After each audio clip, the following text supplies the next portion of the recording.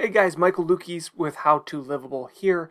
We recently received a really good question about LinkedIn's publishing platform, something I have a lot of experience with. It was from Evelyn LaRose. She says, How do you save an article as a draft? I see where I go to access my drafts, but there's no way to save a post in progress. And she says if she doesn't post, she loses the content even though it says saved at the top near the publish button. She wants a pre save post that she can then publish since LinkedIn doesn't have a scheduled release feature, which they should definitely have, right?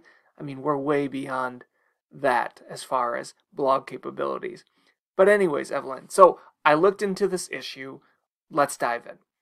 First, you want to go to your LinkedIn profile. Obviously, we want to get to the LinkedIn publishing platform. So you click on Write an Article, and this is where Evelyn says uh, she can see that she has saved posts but current posts that she's working on aren't saving to my drafts. So this is my drafts. Everything that LinkedIn has saved as an article goes in this section. Now, LinkedIn doesn't have a way to press save on a draft. It automatically saves in your browser. So I went through two different ways of seeing if LinkedIn would save my posts. Both of them worked me. But this is what I would try, Evelyn. After you work on a post,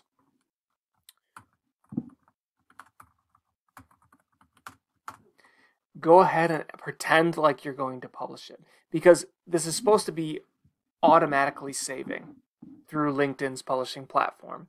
And if it's not doing that, you can give them the signal that um, you want to save by pretending like you're going to publish. So then I would believe at that point it would update in their system. It would save the post. Obviously, you don't want to publish it because there's nothing there, or you don't want to publish your post yet. So click out of it. They then ask if you want to discard the draft. Discard. And then I closed out, and it still showed up in my drafts. So this is what I would recommend. Something else that I just realized is that if you click on your drafts right after saving an article, it might not show that it's saved yet. Open up another tab and then access the publishing platform and your drafts, and then it might show up. That's what I just had happen to me. Immediately after I thought it was saved, I clicked from here on the drafts, and look, it doesn't show up.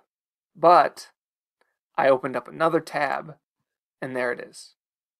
So try that, Evelyn. I hope this solves your problem. If this video was helpful for any of you out there, please like, and we'd love to have you as a subscriber of How to Liveable.